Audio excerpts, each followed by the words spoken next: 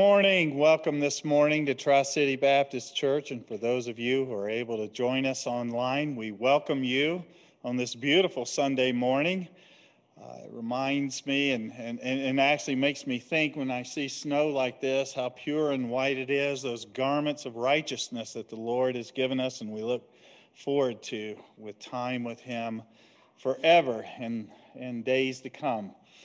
During this time, we want to worship our Lord, and I thank you for taking time out on this Lord's Day to be with us this morning. Let me highlight a few of the announcements. We have a heart class for those of you who may want to learn more about this ministry and more and have opportunity to meet the various pastors and our chairman and deacons throughout the uh, year. Throughout this semester, we meet and uh, the pastor study just behind the auditorium here at 9.30 so if you're interested in that we would welcome you to join that class. Let me just make mention especially for our church family we've been really blessed with the uh, food bank every other week uh, for our community but every off week on a monday is for the church family. So i'd encourage you to come by. We always have a tremendous selection of food and a number of volunteers that work very hard and diligently on Monday for our church family. So do take advantage of that. Let me just make mention for uh, those of you that may have lost family members or know of others that may have lost family members uh, in these past few months. Uh, we have a program called Grief Share, a ministry called Grief Share that is actually going to begin next Sunday evening at 6 p.m. And uh, I believe we're looking at using the pastor study again behind the auditorium for that, depending on the number of folks. We have other options as well. Uh, but it is a, as it says here, from mourning to joy. And uh, so it is a group of folks who have gone through the same type of loss and, and, and a pertinent study to keep us focused on our Lord and keep joy in our lives. If you have an interest in helping us with our Sunday school, uh, we try to track our attendance, keep track of uh, some administrative things going on there. We'd love to have someone volunteer for that. So there's information at the Welcome Center. Please feel free to talk to me or Debbie Fleming, and we can fill you in on uh, what we desire there. So let me uh, mention our missionaries of the week, Josh and Rebecca Miller. Uh, now, I don't know Rebecca as well, but I know Josh Miller from when he was just a little peewee. Uh, we were in the same church. Uh, his father and mother had been here and taught in uh, seminars in the past. His father's a doctor. But Josh and Rebecca Miller have been serving faithfully for a number of years at Valley of Grace Church in Utah. And so let me just highlight a few of the things. There we go. Uh, you'll see here uh, the praises. Members at Grace Church are demonstrating wonderful unity in spite of difficulties. Of course, they're facing the same things that we're facing with uh, having many folks on Zoom, and, and yet they're able to have a number of folks in attendance. In fact, he shared that uh, they're averaging about 60 in person and on Zoom each week. So we pray for that ministry there as they work diligently to share the gospel in uh, Mormon country. The church continues to grow spiritually and numerically in spite of COVID restrictions. We're seeing those same things here, and uh, we praise the Lord for it. Let me just share a couple of things. Uh, uh, they have grace groups, small groups that they have studying and uh, Josh has been leading that. They've been able to work through First and Second John uh, this year, and then John has also been preaching through David's life. He was able to complete that study from the book of Psalms. They also have an intern, Andrew Stevens, at Appalachian Bible College. Pray for him. He's graduating uh, this spring, and I believe they'd love to have him come back and, and serve in ministry there. Do pray for the family, though. Uh, Rebecca has, for many years, uh, suffered with a variety of health issues. She homeschools uh, their son, Elliot. Uh, so do pray for her. She's able to keep in touch primarily through Zoom due to health issues with the church family, but just pray for them and in this ministry. And again, as their uh, intern Andrew returns to college and graduates this spring, please pray for him. All right, let's go to the Lord in prayer at this time as we prepare to open uh, this service. Father, it is such a blessing to be in your house. It's such a blessing to be able to fellowship with brothers and sisters in Christ and come together in unity of heart and mind to worship you, to lift high your holy name, to extol it, and to give you praise. And Father, we come here now humbly and we ask that you would open our hearts and prepare us this day for what you have for us. Uh, your word is truth, your word is powerful, and may it work in our hearts and lives even this day. May we see a spiritual change from it. Bless us now as we enter in this time of singing and prayer. In Christ's name I pray. Amen.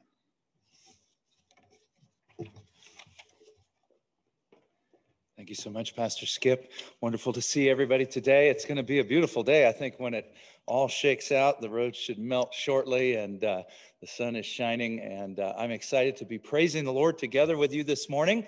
Let's take our hymnals and turn to a hymn of praise to the King. Rejoice, the Lord is King. Hymn 43. Let's stand together as we sing, Rejoice, the Lord is King.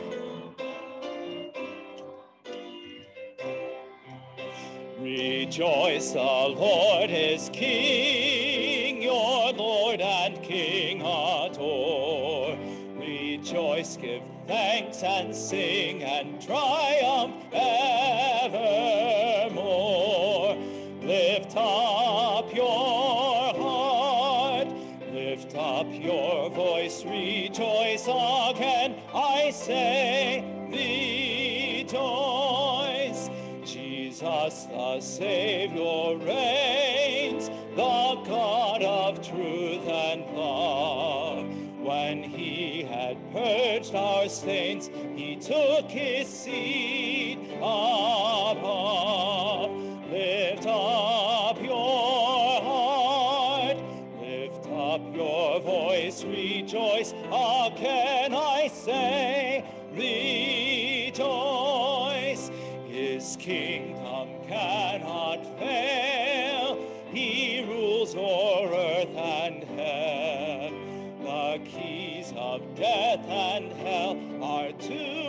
Jesus give. Lift up your heart, lift up your voice, lift up your voice, I say, rejoice. Rejoice in glorious hope, our Lord the Judge shall come and take his servants up to their eternal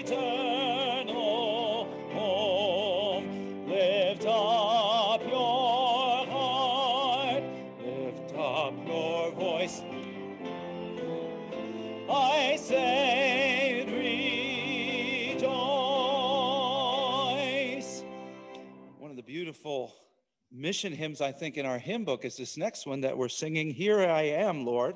It's a combination of the beautiful story of Samuel being called by the Lord in the night to do the will of the Lord for his people, and then also the call of Isaiah, who was uh, the Lord asked, Whom shall I send and who will go for us? And so let's sing this together. I think uh, there are a number of people in here today who have already consecrated their lives and said, Lord, whatever you want, wherever you would like me to go, I'm willing. And so let's just reassert, reconsecrate ourselves as we sing.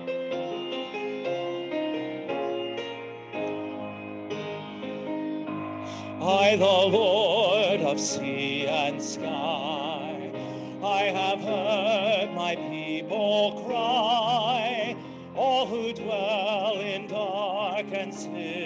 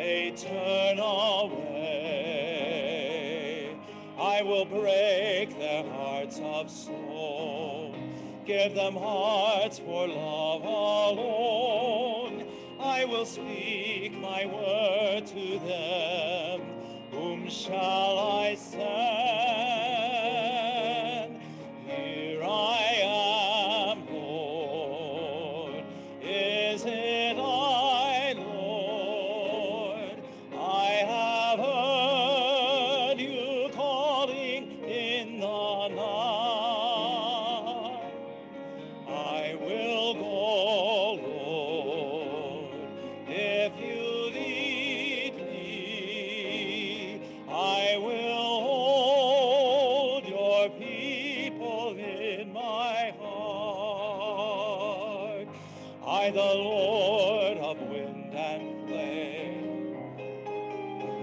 The poor and lame, I will set a feast for them. My hand will save finest bread.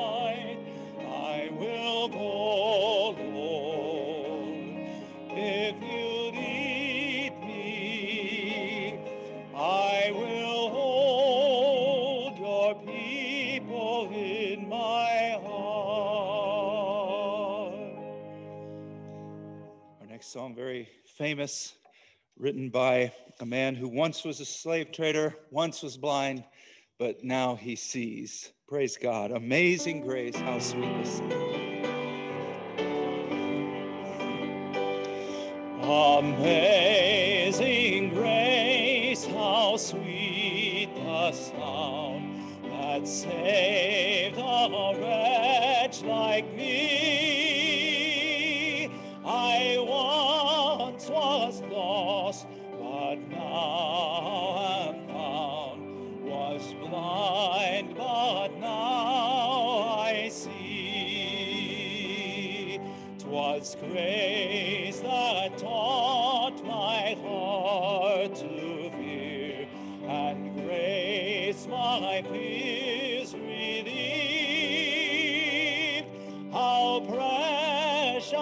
did that grace appear, the hour I first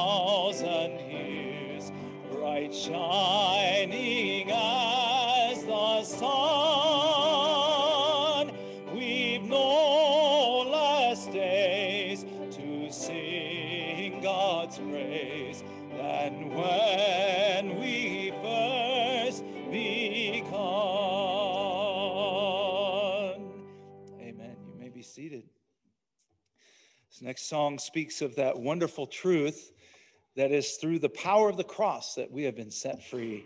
The power of the cross. Thank you, David, for ministering to us today.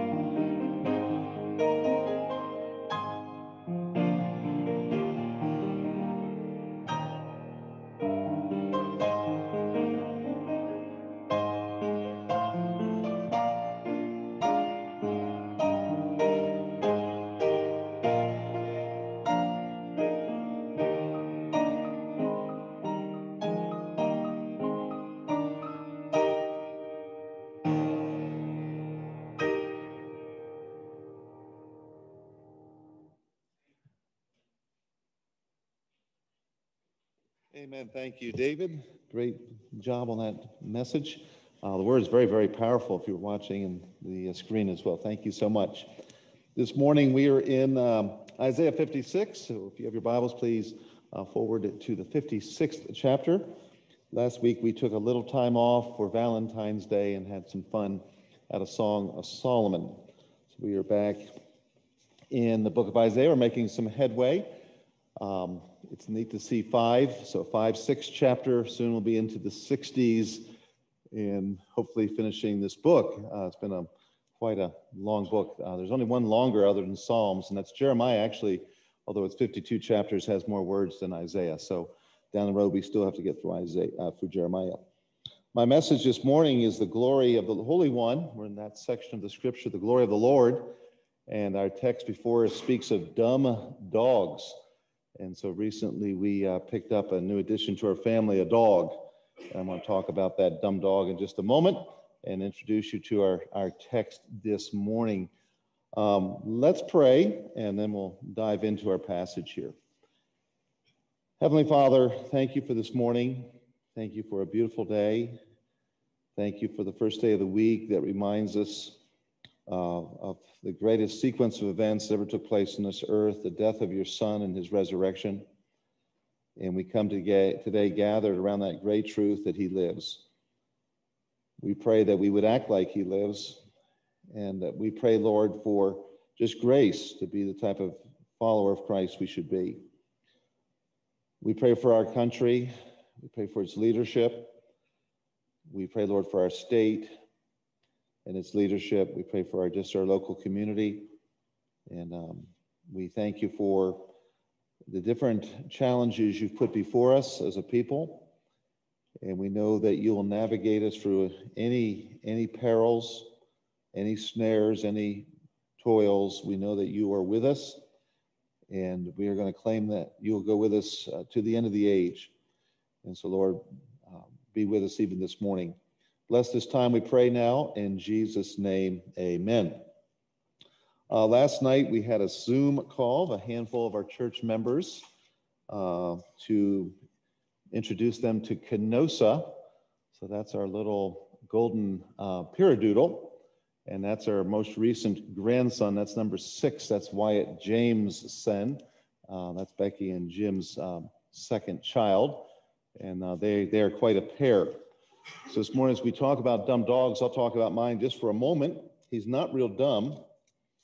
He's already learning some uh, pretty, pretty clever tricks. Whenever I try to correct Canosa, he turns to the side and itches his ears. He's basically saying, I can't hear you. I'm not listening. I didn't hear a word you say. And very clever. Uh, I do reward him for doing um, different things. And now he's uh, going outside to do his thing and he pretends, he fakes it. And then he comes to me for a treat. So just very clever dog. This is not a dumb dog. Um, a golden Pyredoodle is first uh, a part, portion of golden retriever, um, rated as probably the friendliest of all dogs. So our dog has a little bit of that quality. Retriever retrieves, and so our dog is uh, quite naturally a retriever. The quality that really sold us on, on Canosa is that he is a Grand Pyrenees mix. So the Grand Pyrenees uh, can get a little big, um, just, just a little bit. They are shepherd dogs, powerful work dogs. Uh, they originated, God designed them to be mountain dogs. There's a mountain range between Spain and France called the Pyrenees, and that's where this particular breed of dog is uh, traced back to. Uh, General Lafayette from France brought them to America around the American Revolutionary War. And so while this is a mountain dog, and uh, especially uh, guards homes and family, sheep, cattle, and so on, so it's uh, it's neat to watch. He'll he'll perch above me and just sit in kind of a sentinel position, and he's watching, he's guarding, and if anything kind of interferes with our lives, I think he's gonna he's gonna respond. And then um, to add to the golden Pyredoodle is the poodle. And poodles, as you know, are elegant, very energetic, very athletic, uh, when you see our dog Canosa run or walk, he prances just like a poodle, just kind of really showmanship, a lot of show, a lot of prance. Do you see that tail? That's the kind of tail our dog has. So there's a little bit of poodle tail in, in our golden Pyredoodle. So um, how dumb he is, I don't know. I think he's pretty intelligent. Uh, the doodles, the poodles are hypoallergenic and they're the lightest shedding breed of all the dogs. There's a neat combination. Time will tell what kind of dog we have. This morning, we're going to talk about dumb dogs. And I'd like to kind of transition from two weeks ago's message to today's. Uh, two weeks ago, we talked about a group of different classes of people in the Old Testament who were not permitted to worship, congregate with the people of God. There was two, three, four, five different categories that in an Old Testament economy, you, you just couldn't be a part of the worship. And then uh, Isaiah addresses those different classes of people and then says, Even them will I bring to my holy mountain. So those outcasts, those who were excluded, they, they in the future will be brought to God's holy mountain. That would be Jerusalem in Israel. And in that setting, the millennium, uh, they would make joyful noise. They would rejoice. They would worship uh, in, in the house of the Lord, which will be certainly known as a house of prayer. And then, uh, where in the Old Testament they couldn't offer sacrifices in the millennium, they'll be able to offer memorial sacrifices pointing back to the work of Christ, so that their burnt offerings and their sacrifices shall be accepted upon my altar, where they weren't accepted, weren't even they couldn't even approach the altar in the Old Testament. And then he concludes in this memory text, For my house should be called a house of prayer for all people, for Jews, for Gentiles, uh, for outcasts. And so it's a really beautiful, beautiful passage here that we've been memorizing. But if you don't know the context, the even them will throw you. The even them is referring back to Old Testament outcasts who will be permitted to engage in millennial worship. And so that is our context. So between the two advents of Christ, the first coming when he dies and the second coming when he reigns, that's where all the problems are. Uh, the challenges are between the cross and the millennium. And we just happen to live in that time period. And so we definitely face some challenges. And, and indeed, in the Old Testament, the Jews had some difficult times, especially when they sinned and brought uh, chastisement upon them. So we go from uh, the millennial heights of verse 7, and then we move to verse 9, where we find out that they had some problems and God dealt with them as a people, especially when their leaders failed to lead. And so we're going to talk about uh, these dumb dogs in just a moment. But let's let's look at our verse, first verse here. It says, "All ye beasts of the field." So um, all's pretty pretty big, all comp- all comprehensive word. All all you wild animals, you beasts of the field, come. Notice that the word the verb here "come" is an imperative. This is a mandate. These animals are to come out of the fields. And what are they to do? They are to, to, to devour, destroy, consume, eat. Yea, if you didn't catch it the first time, all ye beasts in the forest, come out of the forest, come out of the fields, and attack and devour. So this is a pretty gruesome text. And we'll find out in a moment who he's speaking to. This is obviously figurative speech. Uh, there's a particular group in view, but it certainly draws our attention to wild animals. And we live in a, a very beautiful state. And I'd like to talk about our top 12 beasts, our top 12 beasts.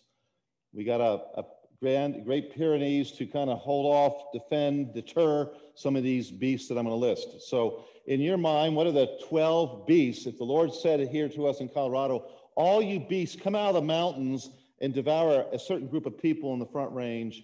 What would come out of the mountains? What would come in, out of the fields? What would come out of the forests? So uh, let's look at these uh, different creatures that would devour. Uh, first, perhaps you wouldn't think this small, but uh, there's some critters that can be a nuisance. Uh, the black widow may not kill you, but surely, certainly could cause some discomfort. That little guy to the right, that little tick, my, my, my middle brother Randy, six foot, whatever, seven, big guy, powerful man, uh, had a little tick and got Lyme disease. And it just broke him down to hardly, hardly a man for, for a long time. Just that little tick. And then, of course, um, we have a few of these around. You got to be careful in your garage or in your shoes. Uh, the recluse spider. So we have some of these, and they're in the fields and they're, they're in your garages and they're in your basements. Well, you're probably thinking of other creatures when it speaks of all the beasts coming out of the, out of the fields and out of the forests. So let's pick on some animals here. This is a beautiful cat. We have not seen many of these. This is a bobcat. Um, pretty quick, 25, 30 miles per hour at, in, in, fifth gear, top speed. Um, usually not a threat to us per se, unless you get them in a box uh, a beautiful creature. Uh, you can have some challenges with these guys if you're not careful. You have to provoke them. Um, you've got to be stupid, but uh, those horns are real, and they can they can push around a little bit and gorge you if if if uh, you get, like I said, dumb. And we'll get to dumb dogs in a moment, but uh, these creatures here are some threats. They could come out of the fields and out of the mountains and out of the forest. Uh, this guy here, he lives next to us up at our cabin. So right, right smack next to us. And uh, he likes rabbits. So we'll see his particular paw print in the snow, and you'll see a rabbit print, and then you see the rabbit print disappear.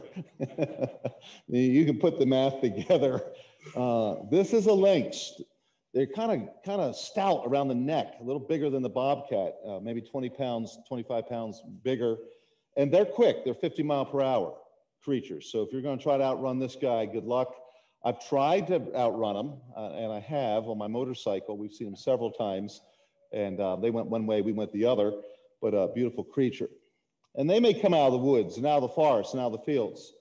Uh, these guys in our state, beautiful creatures they're not aggressive.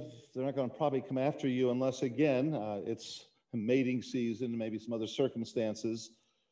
And those, uh, those horns are real. They can go through whatever uh, they want to push uh, around. So they can be a threat. Imagine all these beasts coming out of, the, out of the fields and out of the forest.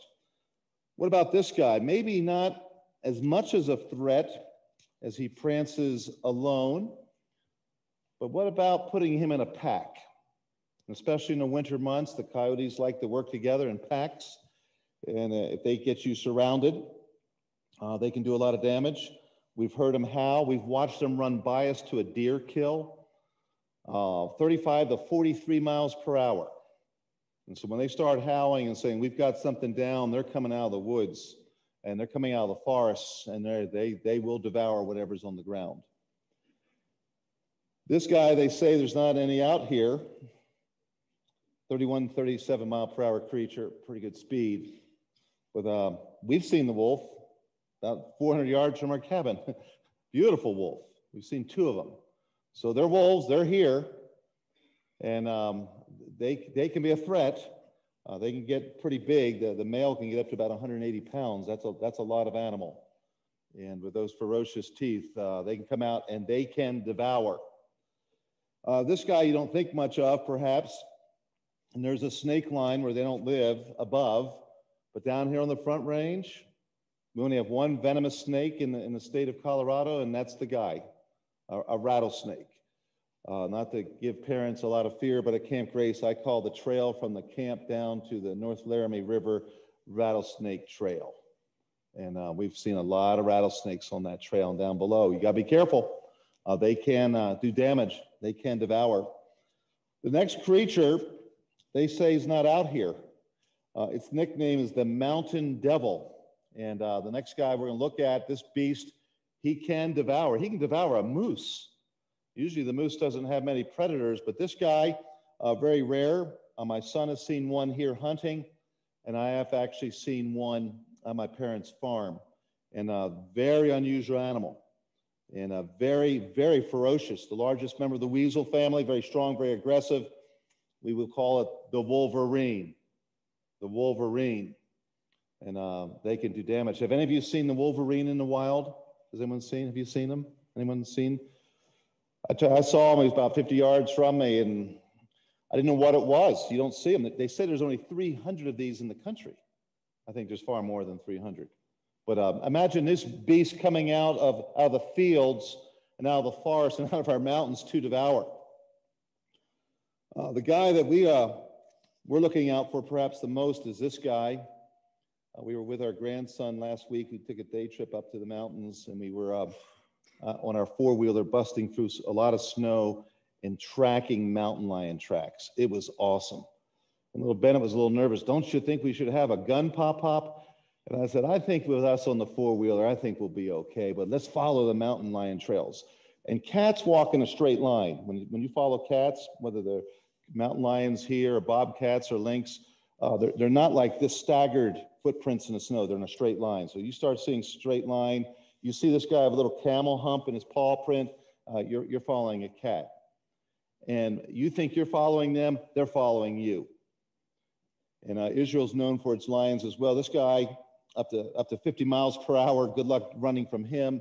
Uh, the males weigh up to 220 pounds. So, what other beasts could come out of the fields and out of the forest to devour? Uh, I've got two more here, or three more. Uh, you're thinking hopefully of beasts. What other beasts are there? Lions and tigers and bears. Now, that brown bear, they say, is not in Colorado. They say they're extinct since 1953. There are no grizzlies in Colorado. That is not true. That is not true. Uh, this guy here, uh, uh, my son Jim saw a grizzly just above Wellington, up in those woods, up in those hills. And so they're here. Typically, we're looking at black bears. The boars can weigh up to 660 pounds. The sows maybe up to 300 pounds. If you see that guy, you play dead. If you see a black bear, you don't play dead or you will be dead. Uh, you, you fight them. How do you stop a bear like this from charging? You take away his credit card. It's very, very important. So, so this guy can do problems, wreak havoc. Uh, the last fatal attack was in 2009, so it's not like every other week someone's being killed by this guy, but they do intimidate you. Imagine these, these animals coming out of the fields and out of the forests to devour. Some say this is the most dangerous guy in the woods, runs at 30 miles per hour. Put it in perspective, a horse up to 50, 55 miles per hour. So all these animals are fast. Don't try outrunning them. Uh, this guy weighs up to 1,200 pounds and he can do some real damage to you if he gets on top of you. And uh, they can be extremely deadly. We have the moose capital here in our state, Walden, has 600 of those moose up there roaming around. There's about 2,500 in the state. They say if a moose stops eating when you're looking at it and stares at you, you're in trouble. If it lays back its ears like a horse, that's a real bad sign. If he smacks his lips, clicks his teeth, and says, yum, yum, you're toast. It's just real simple. So that guy there, they say, is very, very dangerous. And uh, we have walked by moose hunting number of times, number of times, three, four times. Uh, moose just walking, I mean, from here to the piano uh, for, from us. They don't see well. Uh, they see different, different proportions, but uh, be careful of that guy. But of all the animals, the wild beasts that can devour in Colorado, there's one that I haven't addressed yet, and you all know what it is. The most ferocious of all animals, what is it? Number 12 or number one. It's the pika. The pika is the piranha of the mountains. The piranhas of the mountains, when they get in trouble, they screech like that and pikas come from all over the mountain, hundreds and thousands of them, and they jump all over you and devour you like piranhas, the piranhas of the mountains.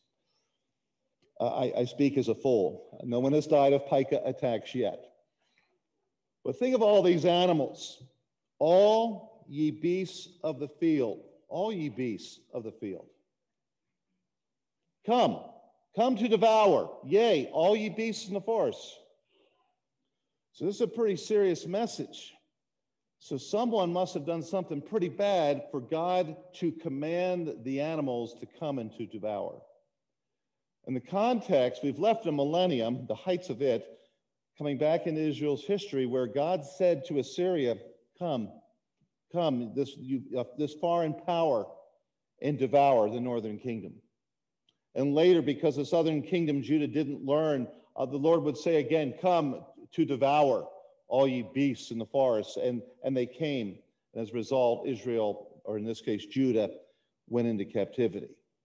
So the context of this paragraph starts off with, we would say, figurative language describing international threats, international eh, nations that have a lot of, of, of takedown power that, that leave Israel kind of vulnerable. And so, in view of these hostile enemies, we now transition to the passage that deals with Israel's leadership. So, how will Israel stand up against such international threats that are coming? How will America stand up to some of the international threats that we are and will face? And perhaps more pertinent and germane to our purposes this morning, how do we stand up against satanic and spiritual warfare? So let's look at this for a moment. Israel, extremely vulnerable in this context, with these wild beasts coming out of the field, out of the forest to devour. Will its leadership stand up against it? Will the leadership, you know, sound the trumpet? Will the watchmen from the walls cry out? You know, will they defend? Will they be ready? Will they be prepared? Will we be prepared? As we look at our, our, our national context right now, I think more than any other time, maybe in our history, is we're in a spiritual war. We're in a spiritual war. And it's manifesting itself in some really um, obscene ways. But we, as individuals, as Christians, we are in a tireless and a ferocious battle against a roaring lion, a beast, who's seeking to devour. We also have this ongoing system, a world system controlled by Satan, which opposes us and our Savior in anything that pertains to holiness. And this whole system is defined by the lust of the eyes and the lust of the flesh and the pride of life. And it's a very real battle opposing everything we try to do as, as Christians. And then just our own flesh, the never ending battle where our flesh is warring against our spirit and the spirit against the flesh. And oh, who will deliver us from the body of this death? And we know only through the Holy Spirit and by putting on the spiritual armor can we fight a good fight. And so Israel here is going to be attacked. Will they be ready? Spiritually, you're going to be attacked. Will you be ready? Notice here in the context of Israel that in view of these beasts coming to devour, you would like to think that they'd be ready for it, that their leadership would be uh, in tune and sensitive and alert. But notice just to the contrary what is said here in Isaiah 56. In Isaiah 56, verse 10, it says, His watchmen, referring to Judah, Israel, his watchmen are blind. His watchmen are blind. You know, if you've ever done guard duty, some of you have served in the military. I know, Kevin, you were military police. You're watchmen, you're on guard. It's not a time to sleep, it's a time to be alert.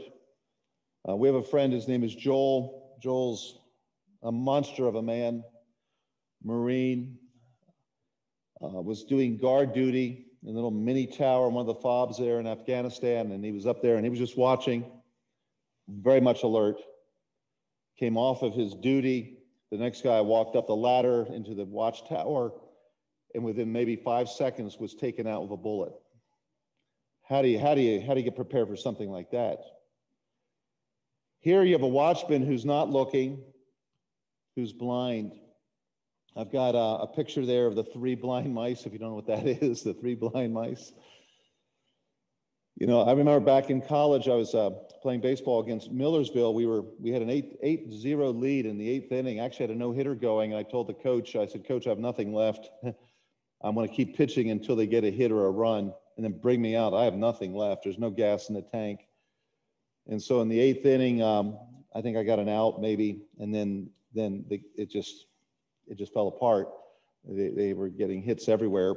And the, the, the no hitter went, the shutout went 8 1, 8 2, 8 3, 8 4. And the coach left me out there. And there was a play at the plate uh, to tie the game. And I thought the guy was out. My coach thought he was out. My coach was a, a good guy, maybe a Christian man. I never heard him cuss. I only saw him get angry three times, and they all related to me. And uh, on this occasion, our catcher thought he put the tag on the guy, would have given us an 8 7 lead. And um, the umpire called him safe. And I can remember the coach, our coach Wright went out there, got the home plate ump and the third and first base umps together and got in their face and called them the three blind mice. And um, that didn't go real well. And I added, I added my expletives and uh, we both exited exited the stadium uh, because of the three blind mice comment and my delightful additions. His watchmen are blind. You get the picture. They, don't see anything, and they're all ignorant. They're, they're, they're, just, they're ignorant. And some of you are asking the question. Here we are in America, and you look at some of our leaders now, and we say, what, you know, try to interpret this, evaluate this, analyze what is going on. I think this, this sums it up. Here, Israel's leaders, they were blind. They just didn't see. They couldn't see spiritual truths. They had blinders on. You know, we have leaders today that just can't see. They don't see the cross. They don't see salvation. They don't see the Bible. They don't have a Christian worldview. They're just blind. They need, they need Christ so badly. They're just ignorant of truth. And uh, it's, it's, it's one thing to have these people on the sideline, but now today in, in spades, we have people who are just blind and ignorant. So, so, so what do you get when you have blind leaders? You have them leading blind people. Look what Jesus said, Matthew 15, verse 14. Let them alone. That's, that's instructive. When he came to these blind leaders, he said, Leave them alone. It's almost like, why? You, you ask the question, why do you leave them alone? Because likely they're going to remain blind. Perhaps you, you go after those who who they're influencing, that maybe they can get their eyes open and they will see, while others may be so hardened in their sin and unbelief. But here, let them alone. They be blind leaders of the blind. If the blind lead the blind, both shall fall into the ditch. We know that in due time, blind leaders end up in a ditch. So we must warn leaders, open your eyes, but likely they won't. But we can tell others, open your eyes to truth so you don't follow others who are blind into ditches. And so, what we may be anticipating in America, what will that ditch look like when we are being led by incompetency? Will that be the ditch of an economic disaster? Will it be the ditch of an international military disaster? Will it be the ditch of a disaster of, of, of a spiritual magnitude, a health pandemic, a social whatever disaster? Only time will tell, but the blind lead people, and often they lead them into the ditch. So, this is very important to grasp. Israel was threatened by some pretty ferocious enemies and their, their leaders, they were blind to it. They didn't see it. They didn't see it coming. They were dull, dense, ignorant. And then uh, the Lord compares them to three different analogies. He calls them dumb dogs. Dumb dogs. I, I was watching um, a little video clip yesterday of Helen Keller. It was really precious. Maybe somebody saw that post. Helen Keller um, would occasionally come to my, my great grandfather's office in Philadelphia. And she would come in, and they were, he, she was friends with Gov, and she'd come in to his grand piano and put her face head up against the piano, and he would play songs. And she could feel the vibrations. She could feel the vibrations. And later she would write a book and she sent a beautiful copy to my grand, my great grandfather. My uncle, my uncle has it. But the post yesterday was uh, Anne Sullivan working with Helen Keller, where she could put her hand on mouth and, and throat and, and feel the, the, the, the words, the syllables, the sounds. And I think maybe her first sentence that she sounded out through this process was, I am not dumb. I am not dumb. Here it says, they are all dumb dogs. Referring back to those leaders, they're all dumb dogs. They cannot bark. So, so rather, you know, here's harm coming. Here comes a ferocious enemy. Here, here comes a, the mountain lion and the bear and whatever other aggressive animals. And rather than warning others about the threats, they don't bark. Some of you have dogs and you joke about if, if a bad guy came to your house, they would be, you know, licked to death or whatever things you say that to say they don't, they won't alert us to anything. They're not going to help us, you know. They, they won't bark. And these leaders, they don't, they don't warn. Why? Because they are blind, because they are ignorant. They're not going to alert people. They're sleeping, they're lethargic, they're lying down, and they love it. They, they, they love inactivity. They, they, they don't want to lead in, in the way that the country needs. You know, you think of this, think of our current examples, and there's so many of them, of, of current leaders in America that just don't do anything. Or if they did do something, it was, you know, horrific. My folks live in New York. I've never heard them talk more about moving from the state of New York. They live in upstate New York. If you're familiar with New York State, there are two states. There's New York City, that's a state. And then there's the rest of the state that is so beautiful, you know, and pays for all the habits of the city. And uh, they're thinking about their mayor and what he, the cover up, where he sends, sends infected COVID patients into nursing homes with people who are not infected with the COVID, but as a result of the mix brings disease and death and then lies about it and covers it up. Today he says, oh, it was just, it was coming, that information was just on delay. No, it wasn't on delay. You got caught. You didn't warn the people. In fact, just the opposite. You, you, you made decisions that led to death. This is incompetency. This is just one example. When, when China released this Wuhan virus, how many days was it before and then when it was made known? How many days? How many people died because the world was not warned? While they slept and as they lay down, and as they slumbered, there was not the warning. We have a health organization, doesn't warn. We have people that are being paid to lead and they sleep on the job. They're dumb dogs. They're dumb dogs, is what they're compared to here. Notice, in addition, that they're not only dumb dogs, they are greedy dogs. You know, uh, it was really cute with my grandkids. They, we were at Walmart, and I usually buy them some, some toy or something. And Bella said, uh, Pop, Pop, I want you to know I love you, and not because you buy me toys. I said, That's great. I'm not going to buy you a toy today. What? So, um, greed, greed. I, I think of Canosa Canosa, I hope you love me rather than just all these snacks I keep giving you. Love me. Love me more than the snacks. Please love me more than the snacks. These are greedy dogs which can never have enough. So put this in context. This is very typical of leadership. They are blind, they are ignorant, they're sleeping on the job, they're not doing what they're called to do to warn, to alert, to protect. And then what's driving their engines is often greed. Greed for power or greed for material, material things, greedy dogs. I don't know if all these people are greedy. I, I don't know their hearts. But I tell you what, we're all in the wrong business.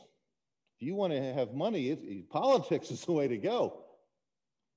I tell you what, our, our Congress, is, there anyone in that group that's not a multi, multi, multi millionaire? And many of them weren't that when they got into office. How did they get all this money? Mark Warner from Virginia, net worth $214 million. It almost seems like if you have money, you can buy an office, maybe. I think of uh, Nancy Pelosi, Speaker of the House, worth $114 million. $114 million. Dianne Feinstein, $87.9 million net worth. Mitch McConnell, this isn't just a Democratic issue. There's a lot of Republicans getting really rich from their political offices. McConnell, maybe it's his wife, I don't know, but $34 million net worth today. 34 million. Liz Cheney from above us in Wyoming, a, a mere, a, a miserly $14 million net worth. And then how, how did the Clintons get so wealthy? How, how does a lawyer from Arkansas uh, accumulate, just one of them, $111 million? The presidency only earns 400,000 a year right now. How in the world? That's a lot of books, I guess. For uh, 111 million in the Obamas, how in the world did, did you go from you know a $29,000 to a $400,000 a year job to a net worth of $70 million? How do you get all this money? And the Biden's net worth and, and our own governor, our own governor, $313 million net worth. Think of, the, think of these numbers. And some of you are saying, no, this is no big deal. I got some of that myself. Probably not. I don't think we have a $313 million um, church member. If we do, you're not tithing. I'll tell you that. You're not tithing, okay? And I don't know if any of these folks are greedy. I don't, I'm not, I'm not saying anything about their hearts. But, but the word of God is saying there's a tendency in leadership where they take advantage of their office and they become greedy dogs. That's what I'm saying. And who, who feeds these dogs? Who feeds the dogs? You and I feed the dogs. We feed the dogs. So these are, are blind leaders, they're ignorant leaders, they're, they're apathetic leaders, they're not doing their job leaders, and they are greedy. Notice here, and they're shepherds that cannot understand. They all look to their own way. The reason they don't understand, it's not America first, it's not the church first, it's not the Christian first, it's not family first. It's all about them. They all look to their own way. What can I get out of this? rather than what can we do for our country, what can the country do for me? They're, they all, that's pretty, that's a pretty comprehensive statement. These, these, these dumb dogs, these greedy dogs, it's all about themselves, everyone for their own gain. And, and, and maybe that's the way we all operate to a degree because of our fallen nature, but as we get sanctified by the Spirit of God, hopefully that's less and less of our life. And it's hard to see national leaders where you, it just doesn't add up why are they doing what they're doing until you realize passages like this are saying they're greedy. They're just looking out for themselves. So many would fit that category. Everyone for his own game from his, from his own quarter, from his own area, his own place, of, uh, place where he was appointed. So they're selfish, selfish shepherds. They don't understand. They, they're not satisfied. It's all about pleasure. It's all about their own lusts. It's all about themselves. So we have these incompetent leaders who are then described as very indulgent. And uh, th- this is extremely powerful what he then says. He says, Come ye, say they, I will fetch, seize, grasp wine, and we will fill ourselves with strong drink. To fill yourself is to be addicted to it, to take it in excess.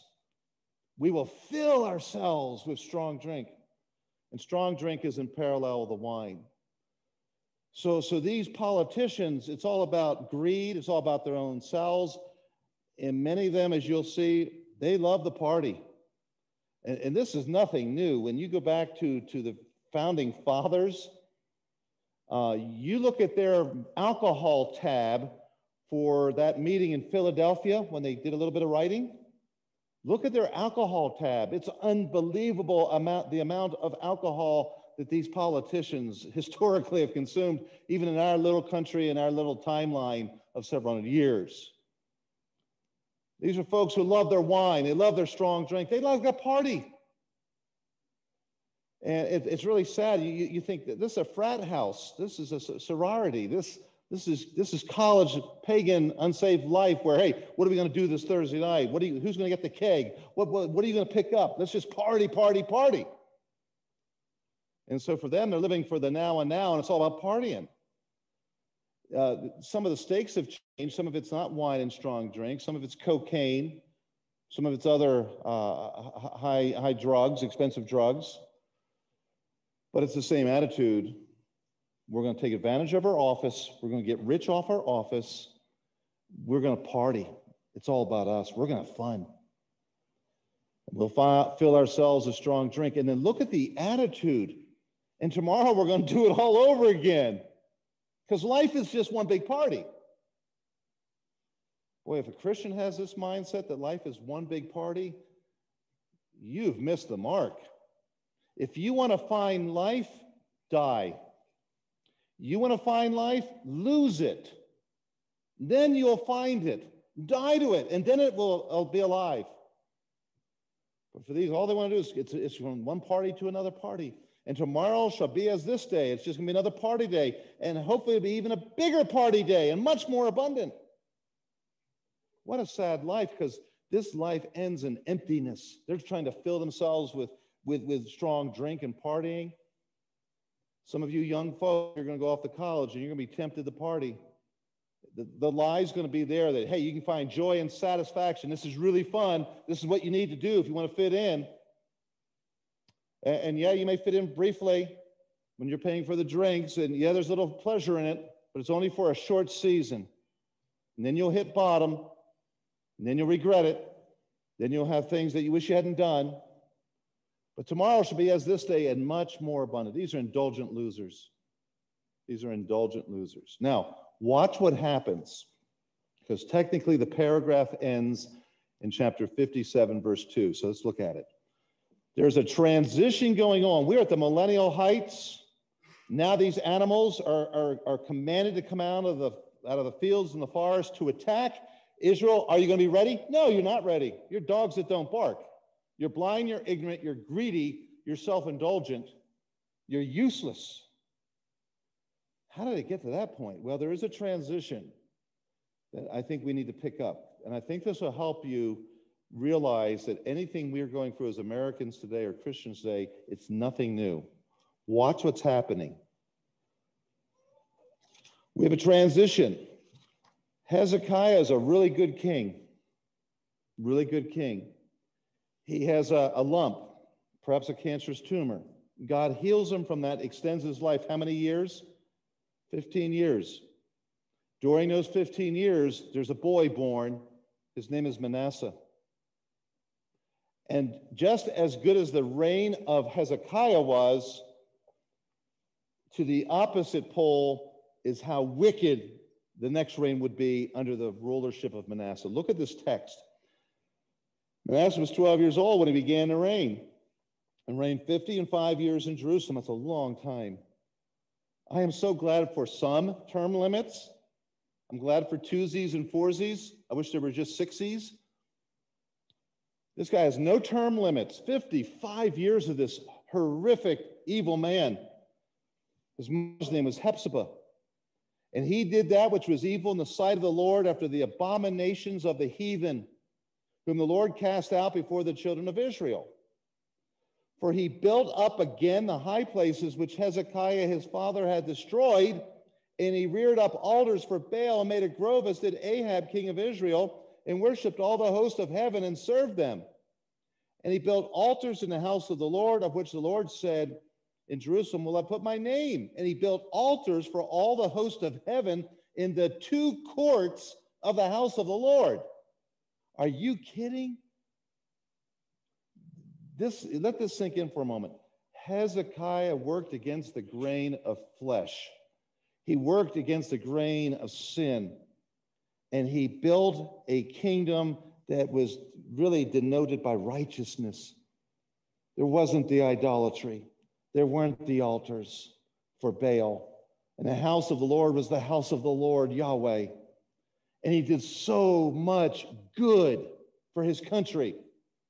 And then in one election cycle, just one, and the guy wasn't even elected. He, he took office because he was a son of the king. And so Manasseh takes the office, and within days, weeks, maybe months, all the good that Hezekiah did was turned upside down by one, by the next political leader. Can you imagine that happening? Where you say, well, I see a country that made some progress in certain areas. And then with just a swipe of a pen in days, hours, it's all turned upside down. Can you imagine that ever happening? It's exactly what happened between Hezekiah and Manasseh. Exactly what happened. So all of a sudden, you have a continuation of leaders that were blind and ignorant and apathetic and greedy and dumb. Manasseh fits those character qualities. So sad. And look at verse 6. Are you kidding? And he, Manasseh, made his own son pass through the fire. You know what that means? He sacrificed his own son to a pagan deity. Can you imagine a father or a mother or parents taking a, a child and casting that child into the fire? and seeing it killed, destroyed? Can you imagine a nation that would kill innocent children? That's how bad this was. One of the hardest things for me to swallow personally right now is some of the progress we were making on the, on the topic of abortion last handful of years. Some of the judgments that were being made, some of the direction that was being made, some of the Supreme Court appointees with their views and so on. Within, within just weeks of a new administration, we now know that the Affordable Care Act will cover abortion. Roe v. Wade will be, with, will, be stood behind. There's going to be every effort to stop state restrictions on abortion. The federal government will restore funding for Planned Parenthood, and the list goes on to endorse abortion in our own country and to fund it even outside of the borders of the United States of America. All within the sweep of a pen and the change of one leader to the next. Well, look what it says. And he made his son pass through the fire and observed times and it used enchantment. This is a cult. This is when you have people murdering children, that is so demonic. Satan is the father of murder. So when you have parents and women aborting their children, that is so against nature and God. That is so motivated and inspired and enabled by Satan and demonic activity. It's horrible. Here, with, with the murder of his son, all this occultic practices, you have familiar spirits and wizards. He wrought much wickedness in the sight of the Lord to provoke him to anger. I tell you what happens when you have leadership like this, it gets God righteously angry. And his justice will not sleep forever. So there's a transition going on. And guess what happens when the transition takes place? I'm just telling you where we are. Look what the Bible says. You say, what's, what's, what's, what's in store for us? Can I encourage you? You're going to die. You are going to perish. You and I are going to perish. The righteous perisheth. And look at the next phrase. And no man lays it to heart. No one really cares. Who cares what the Bible believing Christian believes? Who cares about the Christian population that wants to fear and honor God? Who cares? Let them die. Good riddance. They didn't take it to heart. The righteous perish under a Manasseh, and the merciful men are taken away. Josephus writes, Josephus, first century Pharisee historian, writes about Manasseh. Listen to these words. Manasseh was so hardy as to defile the temple of God and the city and the whole country, for by setting out from a contempt of God, he barbarously slew all the righteous men that were among the Hebrews, nor would he spare the prophets, for he every day slew some of them, till Jerusalem was overflown with blood. This man, Manasseh, when he took power, he said, I'm not going to follow my dad. I've got an agenda. It was Satan's agenda. And part of Satan's agenda was take out the righteous. And it's likely Manasseh who kills the very prophet we're reading about, Isaiah. And Josephus says he delighted every day to take out a righteous, merciful person. Every day. I tell you what, there may come a day in America where we have such an administration that targets the church and targets the Christians, none considering that the righteous is taken away from the evil to come. Where, it's just not stopped. No one steps in the, in the way, no one says anything. Well, for us, if this takes place, we enter into peace.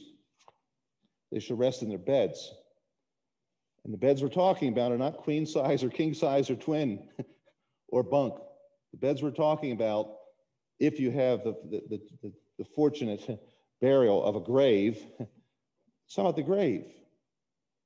You're going to enter into your peace. You're going to die. You're going to rest in your beds. And, and the little phrase here, each one walking in his uprightness, literally, he who walked in his uprightness.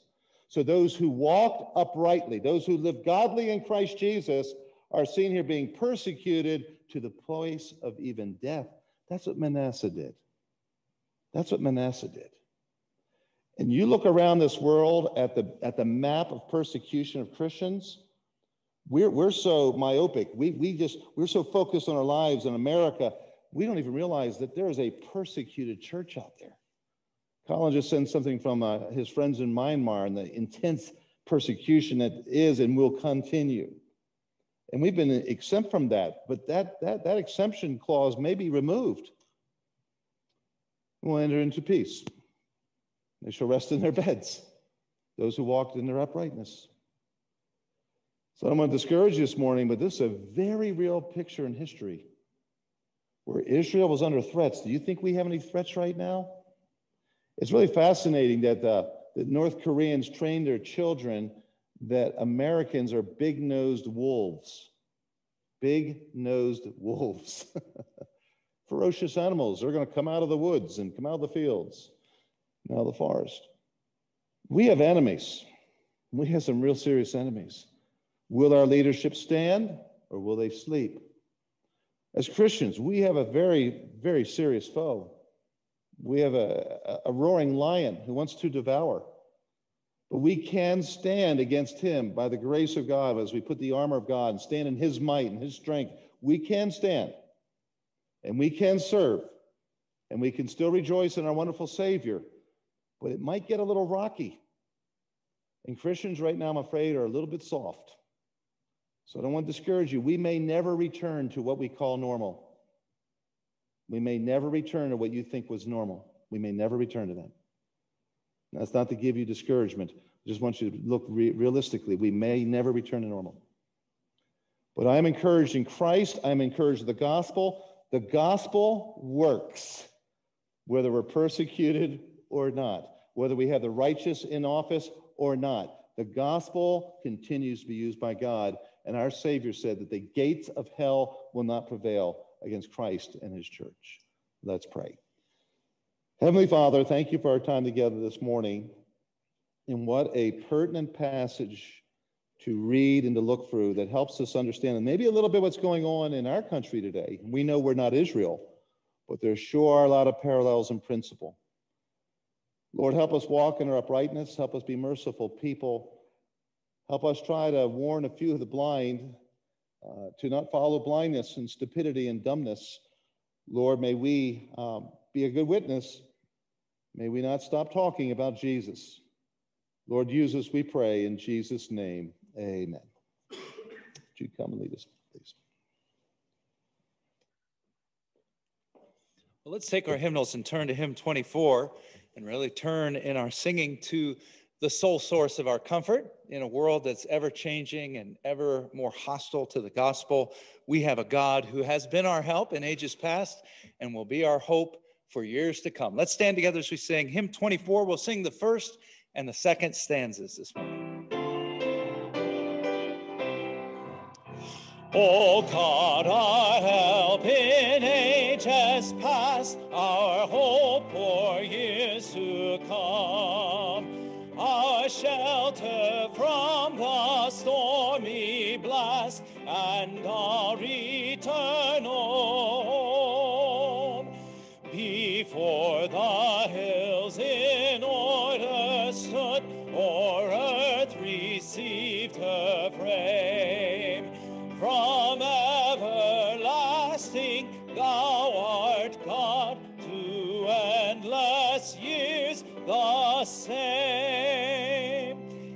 See in Bible study.